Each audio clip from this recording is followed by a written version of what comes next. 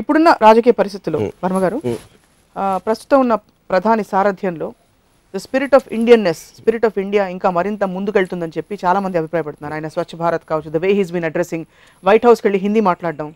What you have to say about that అదే ఇప్పుడు అమెరికాకి వెళ్ళి హిందీ మాట్లాడటం అనేది ఇక్కడ వాళ్ళకి రెండు చప్పట్లు రావడానికి. అందుకని ఏంటి మీనింగ్ అమెరికాలో హిందీలో ఎందుకు మాట్లాడాలి అసలు? అది టిపికల్ ఇండియన్ మెంటాలిటీ అది. అప్పుడు అప్పుడు అక్కడ బాలీవుడ్ నుంచి షారూఖ్ ఖాన్ వచ్చి నమస్కారం అని చెప్పి వీళ్ళందరూ చప్పట్లు కొడతారు. ఇది మన ఇక్కడ క్రౌడ్ ఈ హీరోయిన్లు చేస్తారు వీళ్ళు చేస్తారు ఎక్కడెక్కడ. అంటే వాళ్ళ కనెక్ట్ అవ్వడానికి వాళ్ళ ఫ్యాన్ ఫాలోయింగ్ పెంచడానికి? Of course stunt it is a stunt out out is it mean ఏంటి అసలు డిఫరెన్స్ అక్కడ? మిమ్మల్ని ఇన్స్పైర్ చేసిన దేశభక్తి లేక స్వాతంత్ర సమరయోధుడు ఎవరన్నా ఉన్నారు అసలు?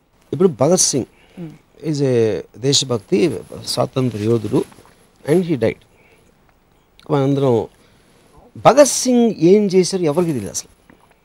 మీరు ఓన్లీ యాక్ట్ చూసారు అనుకోండి తను చేసింది బాంబు వేసారు ఎవరికి ఏం అఫ్ కోర్స్ బట్ లైఫ్ని త్యాగం చేశాడు వాట్ ఎవర్ ఇట్ ఇస్ కానీ ఆ పర్టికులర్ మనకి ఇప్పుడు ఒక కేసు జరిగితే మొత్తం మీడియా ఉండి ఇన్వెస్టిగేటివ్ ఏజెన్సీస్ ఉండే మనకు నిజం తెలియదు ఇప్పుడు ఏంటి? ఏ కారణం? ఎవరు ఏమనుకున్నారు? ఎవరు ఏమనుకోలేదు? కానీ we want to believe that because we need heroes so we we will conveniently put entire thing Godse అనే పిచ్చోడు నేను నేను స్కూల్లో చదివాను గోడ్సే అనే ఒక పిచ్చోడు మ్యాడ్ మ్యాన్ మహాత్మా గారి మహాత్మా గాంధీ గారిని చంపేశాడు మహాత్మా గాంధీని అసలు ఎందుకు చంపాడని ఎవరు అడగరు. ఆ రీజన్ ఉందా వ్యాలిడా అది కరెక్టా కాదా అనేది వేరే debate they don't even ask అసలు. సో సిమిలర్లీ వాళ్ళే ఎక్కువ రియాక్ట్ అవుతారు. అండ్ వాళ్ళ రియాక్షన్ అనేది ఒక ఒక పెగ్గు దాకా హై వచ్చి మందు దిగిపోయింది కానీ దానికన్నా ఎఫెక్ట్ ఇంకేం ఉండదు అది.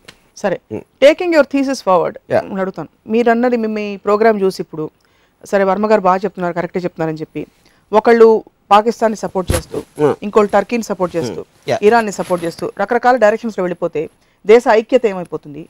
You don't have larger picture you're actually missing the whole point ఇప్పుడు ఈచ్ పర్సన్ ఒక వరల్డ్ ప్లాంట్లో ఉన్నప్పుడు వాడికి ఏం కావాలని వాడి స్వార్థం. అందుకనే అమెరికా వెళ్ళి బిజినెస్ చేస్తాడు లేకపోతే రష్యాలో ఏదో ఫామ్గా ఉంటాడు ఆఫ్రికా వెళ్ళి వాడు వాడి ఫ్యామిలీ వాడి కోసం వాడు చూసుకుంటున్నాడు.